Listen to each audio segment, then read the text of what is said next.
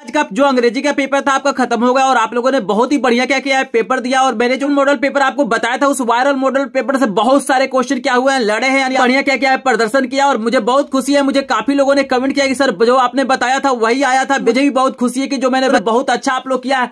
आप लोगों ने बहुत अच्छा पेपर किया है। मेरे पास एक सेट आपको दिखाई दे रहा होगा, आठ सौ सत्रह एच दिखाई दे रहा होगा। इसका मैं सोल्यूशन आपको कराने जा रहा हूँ। अगर आपका ये सेट आया था तो आप लोग अपने नंबर को चेक कर लीजिए कि आपको कितना नंबर मिलेगा। तो जैसे पहला प्रश्न दिया गया था, यहाँ पे जैसे कि मैंने बताया था कि आपको अनसिन पैसेज आया था तो यहाँ आंसर देना था तो चलिए आपको क्वेश्चनों को दिखा देते हैं। देखिए पहला जो प्रश्न आपसे पूछा गया था कि when we enter New York harbour the first thing we see तो इसका जो आंसर आपका करेक्ट हो जाएगा सी वाला हो जाएगा तो इस बच्चे ने का ये पेपर है उसने भी क्या किया है? सही आंसर दिया क्योंकि ऑलरेडी बच्चे ने क्या किया है? टिक किया है। आंसर हो जाएगा द स्टेच्यू ऑफ़ लिबर्टी आपको हो जाएगा याद रखना है। दूसरा प्रश्न हमसे पूछा गया था the Statue of Liberty was gift from the people of तो यहाँ पे करेक्ट आंसर आपका ए वाला हो जाएगा तो इस बच्चे ने क्या किया बिल्कुल सही दिया है। तीसरा प्रश्न पूछा गया था यहाँ पे देख सकते हैं कि द स्टेच्यू ऑफ़ लिबर्टी तो यहाँ पे करेक्ट आंसर याद रखिएगा ए और बी दोनों होगा तो यहाँ पे डी वाला ऑप्शन बिल्कुल करेक्ट हो जाएगा। इस बच्चे ने क्या किया तीनों आंसर बिल्कुल सही दिया है। चौथा प्रश्न जो आपसे पूछा गया था इसमें आपको क्या करना था प्रिपोजिशन ठीक करना था। तो यहाँ पे जो करेक्ट आंसर हो जाएगा आपका अंटिल हो जाएगा आपको याद रखना है। यहाँ पे नॉट नहीं रहता तो हम लोग इफ़ का प्रयोग करेंगे तो यहाँ पे करेक्ट आंसर क्या हो जाएगा अंटिल हो जाएगा। यहाँ पे पाँच नंबर का जो प्रश्न था यहाँ पे भी आपको प्रिपोजिशन ही पूछा गया था तो यहाँ पे जो करेक्ट आंसर हो जाएगा ऑफ़ हो जाएगा आपको याद रखना है। इस बच्चे ने क्या किया बहुत ही गलती किया है। और यहाँ पे छह नंबर का जो करेक्ट आंसर हो जाएगा डी वाला हो जाएगा, मैंने बोला था कि टेंस, की टेंस को अच्छे से आप लोग देख लीजिए तो यहाँ पे करेक्ट आंसर छह का डी हो जाएगा। चलिए आपको सात नंबर का प्रश्न का आंसर बता देते हैं। सात नंबर का जो प्रश्न आपको पूछा गया था, भाई जो स्पेंट शब्द दिया गया, वो क्या है? तो आप सभी को पता है कि स्पेंट क्या है? वर्ब है तो यहाँ पे सिविल ऑप्शन करेक्ट हो जाएगा। गया कि मिस स्पेल्ड पूछा हुआ, आपसे पूछा इसमें कौन सी स्पेलिंग गलत है? मैंने आपसे बार बार ये क्वेश्चन कराया था कि ग्रामर का स्पेलिंग आप लोग देख लीजिएगा। ग्रामर का स्पेलिंग होता है G R A double M A R और यहाँ पे लिखा गया ई तो यही क्या है आपका? मिस स्पेल्ड ये गलत है तो यहाँ पे सिविल ऑप्शन करेक्ट हो जाएगा। नौ नंबर का प्रश्न यहाँ पे पैसे दिया गया था आपकी किताब से और इसके अनुसार आंसर देना था। तो पहला तो नौ का आपका बी वाला हो जाएगा सेवन ईयर हो जाएगा सब कुछ इसमें दिया हुआ है। तो सेवन ईयर दिया गया आप लोग देख सकते हैं। और यहाँ पे दस नंबर का जो प्रश्न है ना यहाँ पे बोधि ट्री दिया गया है। आप देख रहे हैं ना बोधि ट्री दिया गया है। ठीक है। कहीं भी ऑप्शन में बोधि ट्री नहीं दिया गया तो हमको जहाँ तक लग रहा है इसका करेक्ट आंसर सी वाला ही होना चाहिए। बाकी आप लोग बताइएगा कि बनियान ट्री आप लोगों ने लगाया है कि पीपल ट्री लगाया है। तो जो भी आपका कमेंट होगा आप लोग ज़रूर बताइएगा।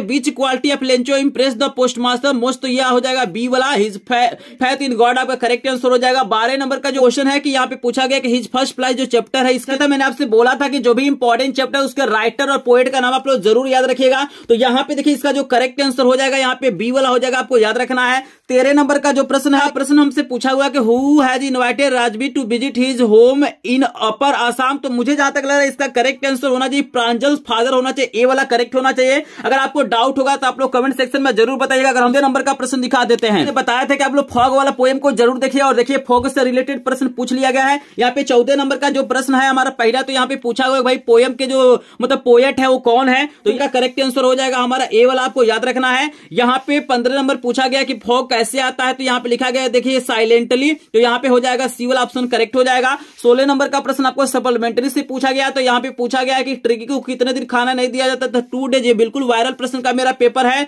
और यहाँ पे पूछा गया है कि जब हरी सिंह अनिल से मिलता है तो कितने साल का रहता है? तो पंद्रह साल का आई थिंक रहता है। तो ए वाला ऑप्शन इसका करेक्ट होगा। कहीं दिक्कत होगा तो ज़रूर बताइएगा। और अठारह नंबर का पूछा गया कि हॉरेस को मतलब अरेस्ट क्यों किया जाता है? क्या एविडेंस मिलता है? तो उसका फिंगरप्रिंट मिलता है। तो सी वाला करेक्ट ऑप्शन हो जाएगा। और उन्नीस ग्रिफिन कैसे थे? तो ब्रिलियंट साइंटिस्ट और लॉलेस पर्सन थे। तो यहाँ पे सी वाला ऑप्शन करेक्ट हो जाएगा। तो यहाँ पे देखिए, बीस नंबर का प्रश्न पूछा गया कि who has invited Matilda husband for the ball party तो यहाँ पे करेक्ट आंसर सी वाला हो जाएगा। The minister of public instruction हमारा करेक्ट आंसर हो जाएगा। और यहाँ पे भी आपको बहुत सारा क्वेश्चन दिया गया था जिसको आप लोगों ने किया होगा। आई होप आपको समझ में आ रहा होगा। ये सारे प्रश्न मैंने क्या किया था आपको वायरल पेपर में कराया था। अगर आपने कर लिया होगा यहाँ पे आपको ये ग्रामर सेक्शन में थोड़ा सा आपको बता देता हूँ। ये हमको इनडायरेक्ट में बदलना था। इस, इसको स्क्रीन पे लगा देता हूँ आप लोग चेक कर सकते हैं। और इसका भी आंसर मैं स्क्रीन पे लगा देता हूँ आप लोग चेक कर लीजिएगा। और इसका भी आंसर मैं स्क्रीन पे लगा देता हूँ इसको चेक कर लीजिएगा। और इसका जो हमारा ट्रांसलेशन था इसका भी आंसर आपको लगा देता हूँ इसको देख लेंगे। बाकी जितना प्रश्न इसमें देख रहे हैं आपको ये क्वेश्चन दिया गया था सब मेरे वायरल पेपर से दिया गया था। बोला था कि चार लाइन का पोइम आप लोग तैयार कर लीजिएगा। यहाँ पे मैंने बोला था कि सेंटर में आप लोग डस्ट ऑफ़ सुनो को देख लीजिएगा देखिए डस्ट ऑफ़ सुनो, बिल्कुल आ गया है। मैंने बोला था कि डस्ट आप सुनो और फायर एंड आइस में एकदम कन्फर्म आएगा तो यहाँ पे आ भी गया है। और यहाँ पे कुछ और भी प्रश्न दिए थे नब्बे परसेंट प्रश्न मैंने बताया था, सारे प्रश्न आपको दिया गया था। अच्छा किया होगा, आपका पेपर कैसा गया है कमेंट सेक्शन में ज़रूर बताइएगा। और जिनको भी क्या करना है, कला और सामाजिक विज्ञान की तैयारी करना है तो चैनल को सब्सक्राइब ज़रूर करेंगे। चूँकि मैं डेली लाइव क्लास के माध्यम से